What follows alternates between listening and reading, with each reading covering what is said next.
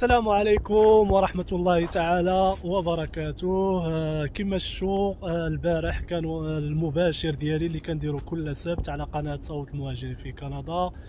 البارح كان آه، تحدثنا على برنامج ديال مقاطعة ساسكاتشوان متعلق ببرنامج العمال المهارة الأجانب بهذه المقاطعة. وعطيتكم مجموعة من المعلومات وكما كنقول لكم دائما آه، كنعطي من ا حتى يوم الاثنين كنشرح لكم جميع المعلومات المتعلقة. كندخلوا ال web site كيفاش تصاوبوا ال profile آه، اشنا هي الشروط المتعلقة بهذا البرنامج. فاليوم في هذه الحلقة غنقربكم مزيان وغنعطيكم المفاجاه اللي تحدثت عليكم آه، تحدثت عليها في المباشر وهي آه، عندك ولا ما عندكش عرض عمل. يمكن لك تدفع على هذا البرنامج. خوتي قبل ما نبداو ما تنساوش الاشتراك الإعجاب نشر الفيديو حتى تعم الفائدة دون نسيان. الضغط على زر الجرس حتى يصلكم. جديد قناة صوت المهاجرين في كندا. فهذا البرنامج برنامج العمال المهرة الأجانب الخاص بمقاطعة ساسكاتشوان كيعتمد على التنقيط. آه، كيفاش التنقيط؟ كاين مجموعة من العوامل كتحسب النقاط نتايا ولا كانت عندك تقريبا 60 من 120 نقطة فيمكن لك تقدم على هذا البرنامج. العائق الأول آه، في هذا البرنامج هو عرض العمل لكن كاين البديل آه، برنامج إضافي على هذا البرنامج. نفس الشروط غير هو بدون عرض عمل يمكن لك تقدم على هذا البرنامج. من العوامل اللي كتخليك أنك تجمع النقاط كاين آه، عامل الدراسة خاصو يكون عندك ديبلوم كانت عندك الدكتوراه ولا الماستر ولا البكالوريا ولا الإجازة. يمكن لك تاخذ نقاط على حساب أي دبلوم عندك. بالنسبة للعامل الثاني هو الخبرة العملية. فعلى الأقل خاص يكون عندك سنة آه، واحدة اذا بغيتي تاخذ تنقيط آه، في هذا البرنامج. ثالث عامل هو السن. فكل ما كان السن ديالك آه، قريب من 30 من ال 20 حتى 30 يمكن لك تاخذ لو ماكسيموم تاع لي بوان. العامل الرابع هو العامل تاع اللغة. آه، اللغة الفرنسية اللغة الأولى تاخذ عليها النقاط اللغة الثانية كتاخذ عليها النقاط. وهنا بالنسبة للناس اللي كيتحدثوا اللغة الفرنسية أو الإنجليزية يمكن لهم أنهم يستافدوا من نقاط إضافية كتوصل إلى عشر نقاط آه، في هذا البرنامج هذا. العامل ال- اللي ال- العوامل الأخرى متعلقة بالارتباط ديالك بالمقاطعة. عندك قريب ولا يمكن آم، آه، فات لك أنك اشتغلتي بالنسبة للناس اللي عندهم رخصة مؤقتة للعمل. بالنسبة للطلبة اللي قراو سنة فكياخذوا حتى هما النقاط. زائد عرض عمل كتاخذ عليه 30 نقطة. لكن آه، مجموعة من الناس كيقول لك بأن عرض عمل آه، صعيب أنك تلقاه. فهاد المقاطعة ذاتك البديل عطاتك برنامج آخر. بالنسبة كيتسمى نفس الاسم اللي هو برنامج العمال المهارة الأجانب. لكن زادت عليه واحد الكلمة تاع المهن المطلوبة بكثرة. فإذا كانت المهنة ديالك من ضمن المهن المطلوبة بكثرة في هذه المقاطعة يمكن لك تدفع لهذا البرنامج آه بدون أنك تحصل على عرض عمل. نعم بلا ما تحصل على عرض عمل يمكن لك تدفع لهذا البرنامج لكن مجموعة من الشروط نفس الشروط تقريبا تاع البرنامج الأول اللي هو العمال المهارة الأجانب زائد آه، مجموعة من الشروط اللي غادي آه، ندخلوا ال web site وغادي نعرفوها. غادي ندخلوا للموقع الرسمي تاع المقاطعة ونعطيكم مجموعة من المعلومات اللي قلت لكم. زائد كيفاش تحصلوا على عروض عمل. إلى ما جابش الله وما وما اتصلت بكم أي مشغل يمكن لكم تشوفوا واش المهنة ديالكم من ضمن المهن المطلوبة بكثرة في هذه المقاطعة. وأنا ذاك يمكن لكم أنكم تقدموا على هذا البرنامج هذا. بطبيعة الحال إلا ما حصلتيش على عرض عمل قلت لكم كاين البديل اللي هو برنامج إضافي كيتسمى آه، برنامج العمال المهارة المهن المطلوبة بكثرة. فمن بين الشروط المطلوبة في هذا البرنامج خاصك تكون تعيش خارج كندا آه، ما تكونش لاجئ. جبتي 60 نقطة من 110 نقاط من العوامل السالفة الذكر زائد على الأقل خاص يكون عندك ال- المستوى تاع اللغة ربعة آه، وكملتي ال- المستوى ما بعد البكالوريا. مثلا عندك إجازة ولا عندك آه، دكتوراه زائد يكون عندك يا إما تدريب في تكوين مهني يا إما شهادة تثبت هذا الشيء. كنتي آه عندك الخبرة العام العملية عالية المهارة ومن خلال آه تحديد ال NOC كتعرف واش انت zero ولا A ولا B وأنا ذاك يمكن لك تدفع لهذا البرنامج هذا. على الأقل تكون عندك سنة كاملة بدوام كامل في مهنة مطلوبة بهذه المقاطعة وال NOC اللي قلت لكم هما zero وال A وال B زائد آخر حاجة هي الحساب البنكي فخاصو يكون عندك في الحساب البنكي الأموال اللي مذكورة في الموقع الرسمي لوزارة الهجرة. آه غير للاشاره كتخلص إلى ما كانش عندك عرض عمل وكانت كنت المهنة ديالك من المهن المطلوبة بكثرة في هذه المقاطعة فخاصك تخلص 350 دولار. هاد الأموال ما غاديش آه إلى ما تقبلتيش ما غيردوهاش لك. هذه آه، ال fee ديال الاستمارة 350 دولار وكتدفعها يا إما Visa card يا إما ماستر كارت. هادو هما الطرق اللي يمكن لك أنك تخلص بها. هاد آه، هاد 350 دولار. كما قلت لكم هذا البرنامج كيعتمد على التنقيط كما كتشوفوا هنا. فملي كنزلوا لتحت هذه هي الموقع الرسمي تاع مقاطعه ساسكاتشوان. فهذا هو التنقيط آه، من خلال العامل الأول اللي كتشوفوا هنا هو نجاح سوق العمل. آه، أول شيء هي الدراسة والتدريب. فلا كان عندك ماستر ولا دكتوراه ولا آه، معادلة كندية فعندك 23 نقطة. بالنسبة للإجازة أو برنامج مدة ثلاثة سنوات أو أكثر في جامعة أو كلية فعشرين نقطة كما كتشوفوا هنا. كان عندك شهادة حرفية من واحد التكوين مهني ولا من آه، أي مركز تاع التكوين المهني. فعندك عشرين نقطة آه، وهاد الشهادة حرفية خاصك دير لها المعادلة هنا في مقاطعة ساسكاتشوان كما كتشوفوا. دبلوم المعادلة الكندية اللي كيطلب سنتين في جامعة أو كلية كتاخد خمسطاش نقطة أو آه، هنايا شهادة معادلة لأي شهادة كندية في برنامج المدة ديالو أقل من سنتين فكتاخد 12 نقطة كنجيو هنا الخبرة العملية فالخبرة العملية لمهنة واحدة اللي آه، من خلالها قدمتي الاستمارة عليها. ففي آه، الخمس سنوات الأخيرة قبل تقديم الاستمارة كتاخد عشرة نقاط على خمس سنوات ثمانية نقاط على أربع سنوات كما كتشوفوا هنا.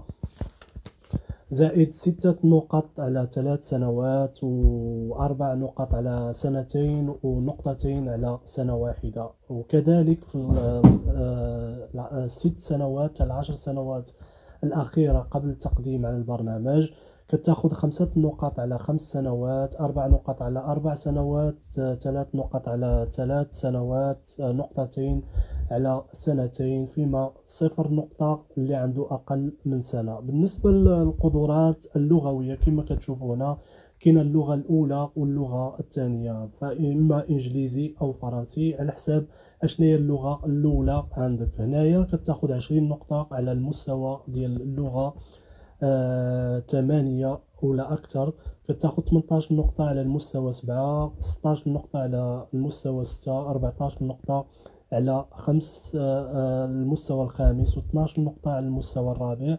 فيما صفر نقطة اللي ما عندوش لا الإنجليزي أو الفرنسي. بالنسبة للغة الثانية كتاخد عشر نقط آه، على المستوى الثامن أو أكثر ثماني نقط على المستوى السابع وست نقط على المستوى السادس وكما كتشوفوا صفر نقطة إلى ما عندكش اللغة الثانية.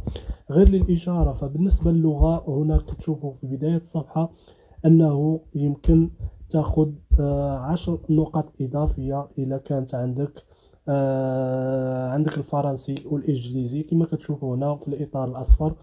فهذه ميزة بالنسبة للناس اللي عندهم اللغتين الفرنسية أو والإنجليزية معا. بالنسبة للسن فكتاخد صفر نقطة إلا كان عندك أقل من 18 سنة فيما كتاخد أكثر النقاط إلا كان عندك ما بين 22 حتى 34 سنة فكتاخد 12 النقطة. آه بالنسبة للعامل الثاني فهو العامل. كما قلت لكم فعل مباشر فهو الارتباط بسوق الشغل بساسكاتشوان والتأقلم. فكتاخد 30 نقطة وهو الماكسيموم. لقيتي عرض عمل من طرف مشغل بالمقاطعة. ولا كان عندك أحد أفراد العائلة بالمقاطعة خصو يكون مقيم دائم أو عنده الجنسية الكندية. فكتاخد 20 نقطة كما كتشاهدوا هنا وكتأخذ خمس نقط إلى يمكن مثلا عندك واحد الرخصة. تاع العمل في مقاطعة وكنتي شاغلتي لمده على الأقل سنة واحدة فكتاخذ خمسة نقاط. وكتاخذ خمسة نقاط إلا كنتي درستي في واحد البرنامج مثلا مدة سنتين لكن درستي غير سنة فكتاخذ خمس نقاط. فبالتالي إلا كان عندك ستين نقطة من مية وعشرة عشر نقاط كما كتشوفوا هنايا فأنت مقبول في هذا البرنامج. فبطبيعة الحال إذا كنتي آه عندك ستين نقطة من مية وعشرة نقاط وعندك عرض عمل من خلال هاد النقاط اللي حصلتي عليها. في المرحلة الأولى التعبير عن الاهتمام وتقديم الاستمارة كتسمى notification of interest. كتملأ هاد الاستمارة كيفاش كتكون آه كتفتح واحد ال profile كيفاش كنفتحو ال profile. فكنجيو apply online لهذا البرنامج. فكتدخل كتكري آه كتكري profile هنايا كدير آه كدير create an account لكن أنا عندي account بطبيعة الحال ملي كتكري account كيجيك ايميل من آه الوزارة آه أو من مقاطعه ساسكاتشوان. كما كتشوفوا هذا الايميل أنا كرييت account جاني هذا الايميل بأن مرحبا بك في هذا البرنامج تاع ال nominee program ديال سيسكاتشوان. ولتحت عندي ال password والكلمة باش user name باش كرييت واحد ال profile أو ال interest بهذه المقاطعة فبعد إكمال جميع المعلومات وتحميل جميع الوثائق المطلوبة وخاصة تكون PDF وخاصك تحافظ على جميع الوثائق الأصلية في حالة نسيان بعض المعلومات أو عدم ترجمة الوثائق أو حطيتي معلومات غير واضحة فسيتم إلغاء التقديم ديالك لهذا البرنامج هذا المرحلة الثانية استقبال رس... واحد الرسالة نصية من مقاطعة ساسكاتشوان عن طريق الإيميل اللي حطيتي في البروفايل ديالك. وهنايا آه وهنايا كيقولوا لك عن طريق هذا الإيميل واش تقبلتي ولا ترفضتي ولا نسيتي أي معلومة. إذا تم القبول ديالك من خلال هذا البرنامج يتم ترشيحك إلى الحكومة الفيدرالية باش تحصل على الإقامة الدائمة وكيعطيوك مدة تاع 30 يوم للقبول الترشيح آه، اللي عطاوك. بعد القبول والموافقة كتعطيك آه، وزارة الهجرة الكندية 60 يوم للتقديم على الإقامة الدائمة. من بعد منها كيجي الفحص الطبي آه، زائد واحد المقابلة في بعض الحالات اللي كيكون الأسئلة ديالها بساط جدا. في حالة ما بغيتي أنك آه، دير واحد الممثل ليك اللي يهضر بسميتك واللي يقدم آه، على هذا البرنامج فمن حقك. فهنايا عاطينك مجموعة من المعلومات على الممثل ديال représentant اللي بغيتي دير. فبطبيعة الحال هذا البرنامج خاصك عرض عمل باش تلقى عرض عمل في المقاطعة. عاطينك هذا الموقع هذا اللي هو ساسكاتشوان dot ca هنا finding work آه، إيجاد عمل. فعطيك مجموعة من ال web site أي واحد يمكن يدخل على هذا ال web site ويلقى جوب آه، اوفر يعني عرض عمل. كاين هذا معروف هذا ساس بأنك تلقى فيه مجموعة من المهن المطلوبة بكثرة في هذه المقاطعة فبطبيعة الحال إذا ما لقيتيش آه، عرض عمل. بحثتي في جميع المواقع اللي عطيتكم ما لقيتيش عرض عمل. كاين البرنامج الثاني البديل وهذه هي المفاجأة اللي كاينة في مقاطعة آه ساسكاتشوان. كما كتشوفوا البرنامج الأول international skilled worker employment offer يعني خاصك عرض عمل الثاني فالبرنامج الثاني هو ال international skilled worker occupation in demand اللي هي آه، برنامج العمال المهارة الأجانب لكن هذا آه، البرنامج ما كيعتمدش على عرض عمل فهو المهن المطلوبة بكثرة. فغندخلوا لهذا البرنامج ونشوفوا الشروط المطلوبة فيه. فهاد من ضمن آه، الشروط المطلوبة هنايا خاصة تكون عندك مهارات عالية في المهن المطلوبة بكثرة في المقاطعة وتكون أول شرط تكون قد استوفيت الشروط المذكورة في البرنامج اللي ذكرنا اللي هو برنامج العمال المهارة اللي خاصو عرض عمل. خاصو يكون عندك 60 نقطة من 110 نقطة في العوامل اللي ذكرنا دفع رسوم الطلب اللي هو 350 دولار غير قابل للاسترداد عن طريق الإنترنت باستعمال فيزا أو ماستر كارد. وهذه هي آخر خطوة في تقديم الاستمارة كما كتشوفوا هنا من بين الأشياء المطلوبة في هذا البرنامج هذا أنه خاصك تكون تعيش خارج كندا. كما كتشوفوا هنا خاصك ما تكونش لاجئ وتكون 60 نقطة من 110 نقطة في تنقيط ساسكاتشوان. على الأقل يكون عندك سي إل بي 4 المستوى الرابع وأكملت المستوى ما بعد الثانوي ولا يكون عندك تدريب أو تدريب مهني معادل لما هو في كندا. حصلت على دبلوم أو شهادة معادلة معادلة الشواهد ضرورية كما قلت لكم من قبل. خبرة عملية عالية المهارة على الأقل تكون عندك سنة كاملة بدوام كامل 30 ساعة في الأسبوع في les NOC اللي هما مستويات المهن zero وال A وال B بالنسبة للحساب البنكي ولا بد منه مجموعة من الناس كيسولوا على الحساب البنكي. فالحساب البنكي نفسه نفس الأشياء المذكورة في موقع وزارة الهجرة.